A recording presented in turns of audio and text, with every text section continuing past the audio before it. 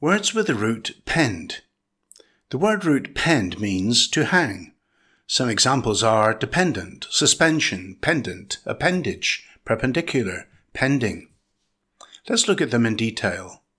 First, a quick reminder, continually improve your English, click the subscribe button now. Now our first word, dependent, definition, influenced or controlled by something else, literally hanging on to something for support. Sentence example. In many places, the local economy is almost totally dependent on tourism. Next, suspension. Definition, something that is suspended or hung, something temporarily stopped also. Sentence example. The Clifton Suspension Bridge in southwest England opened in 1864 as a toll bridge, the income from which pays for its maintenance. Next, pendant. Definition hanging down, dangling. Sentence example Many models have adopted Marilyn Monroe's style of wearing a halter neck dress and pendant earrings. Next, appendage. Definition something that's added to something of greater importance, something that hangs on.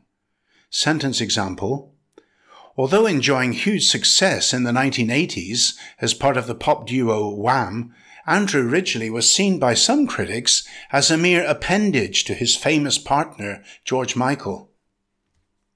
Next, perpendicular. Definition something hanging straight down at right angles. Example This painting, Schilderij number 1, consists only of two black perpendicular lines and a small blue triangle, one of the most minimal canvases by Dutch painter Piet Mondrian. Next, pending, meaning something not decided, awaiting settlement, literally hanging over. Sentence example. A developer was keen to build on the plot, pending a decision by the municipality regarding planning permission. So, when you see words with the root pend, look for a connection with something hanging. Has this video helped you?